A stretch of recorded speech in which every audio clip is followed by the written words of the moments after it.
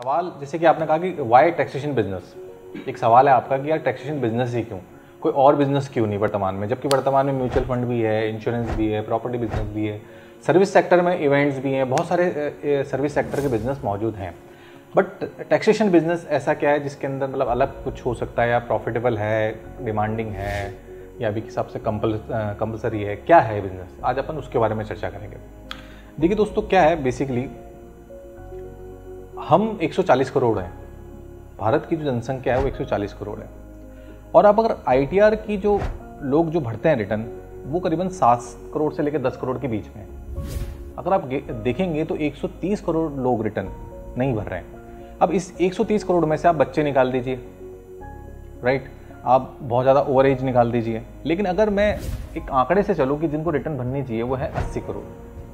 80 करोड़ लोगों को रिटर्न भरनी चाहिए, लेकिन वो नहीं भर रहे। क्या प्रॉब्लम है?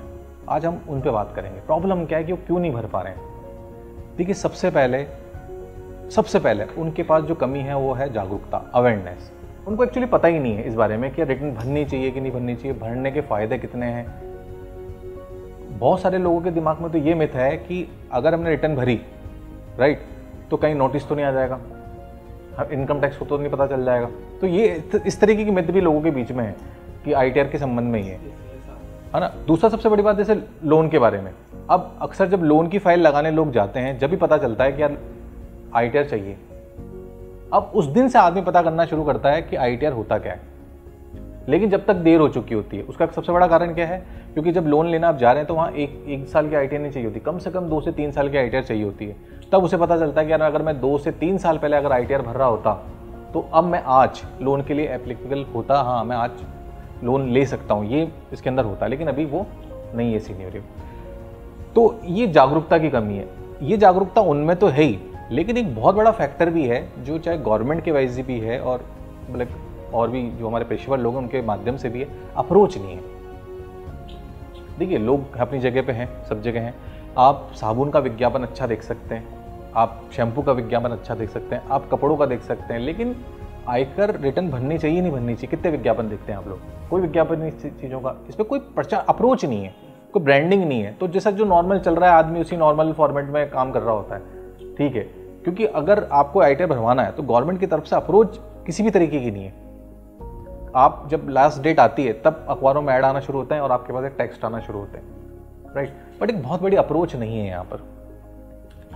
तो टैक्सेशन बिज़नेस के माध्यम से, जैसे कि टैक्सवे जो फ्रेंचाइजी के रूप में लोगों को अपना फ्रेंचाइजी बनाता है ब्रांच बनाता है, आज पंद्रह हज़ार प्लस फ्रेंचाइजी के माध्यम से टैक्सवे ने एक अच्छा सा नेटवर्क ये बनाया है कि वो लोगों के बीच में एक अप्रोच सेट कर रहा है।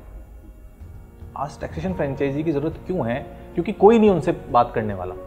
उन्हें पूछने वाला। लोकल लेवल पे उन लोगों से कम्युनिकेशन करने वाला, उन्हें जागरूक करने वाला बेनिफिट बताने वाला, उनके पास जाने वाला। अभी वर्तमान में आप देखेंगे कोई नहीं। टैक्सवे की सबसे बड़ी जो मुहिम है, जो उसका मतलब कहते हैं ऑब्जेक्ट है, वो है लोकल लेवल पे एक ऐसा एक आम इंसान, चाहे वो बी हो बीए हो ट्वेल्थ पास हो, एक पढ़ा लिखा इंसान, जिसे टैक्स अच्छे से ट्रेन करता है कि वो टैक्सेशन को सीखे।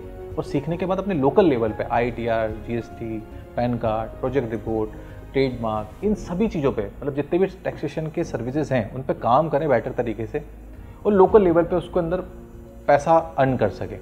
एक बहुत अच्छा टैक्स कंसल्टेंट बनने के लिए। क्योंकि अगर आप, देखिए, एक बहुत अच्छा पेशा है टैक्स कंसल्टेंट मतलब एक नाम तो है इसके अंदर, क्योंकि अभी आप इंश्योरेंस एजेंट के नाम से जाने जाते हैं, अभी म्यूचुअल फंड एजेंट के नाम से जाने जाते हैं। बट एक बड़ा सवाल ये है कि आप अपने शहर में किस नाम से जाने जाएँगे? टैक्स कंसल्टेंट और आप भारत का वो अनछुआ अनछुआ समझे अनटच एक ऐसा मार्केट है अनटच मार्केट जिसको अभी तक कोई नहीं अप्रोच कर पा रहा है। तो टैक्सेशन फ्रेंचाइजी के माध्यम से टैक्स फ्रेंचाइजी के माध्यम से एक अनटच मार्केट को छूने का बहुत अच्छा अवसर है, जो टैक्स उसको प्रोवाइड कराता है। तो ये इसके अंदर बेसिक नीड है और इसे कोई भी व्यक्ति शुरू कर सकता है। मतलब बहुत आसानी से, चाहे वो एक आम इंसान हो, चाहे वो सेल से हो, वो अकाउंट से हो, वो इंश्योरेंस से हो, चाहे वो म्यूचुअल फंड से हो, किसी भी सेक्टर से हो, वो एक सिंपल ट्रेनिंग जो कि टैक्स अच्छा टैक्सवे का सबसे अच्छी बात है हम, उसे लाइफ टाइम ट्रेनिंग प्रोवाइड करा रहे हैं। मतलब हमेशा मतलब जितनी बार वो सीखना चाहे, वो सीख सकता है दोस्तों। तो ये नीड है भारत में और ज़रूरत है, जहाँ दो चीज़ों में तो जिससे वो काम कर सकता है।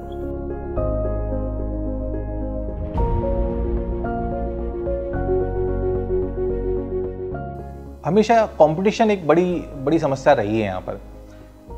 अभी अगर आपका जो व्यक्ति है, जो आपकी फ्रेंचाइजी सवाल कर रही है कि भाई अगर मेरा कस्टमर है, वो दूसरी जगह फ़ाइल करा, मेरे पास क्यों आ रहा है?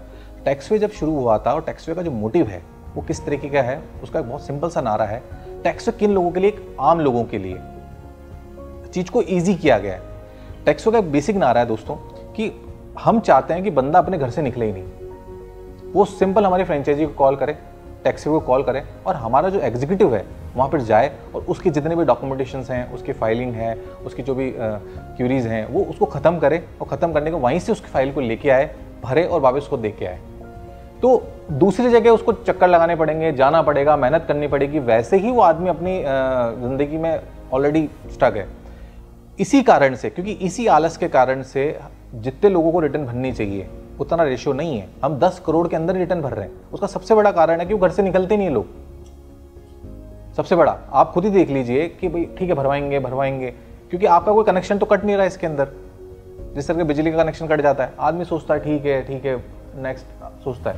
तो टैक्सवे के जितना भी प्लेटफॉर्म है, वहाँ पर उस जगह पे जाइए आप, उसको सर्विस एट होम आप प्रोवाइड करिए। आज इतनी इतनी फूड्स कंपनी हैं जो घर पे ही फ़ूड डिलीवर कर रही है रेस्टोरेंट का निकाल के। तो उनका प्रचलन है।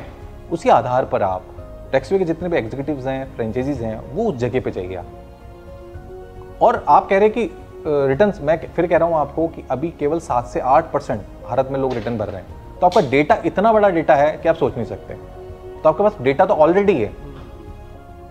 जो डेटा अभी तक घर से निकला भी नहीं है, उस डेटा पे काम करिए, आपके पास तो ऑप्शन तो इसमें बहुत सारे हैं दोस्तों।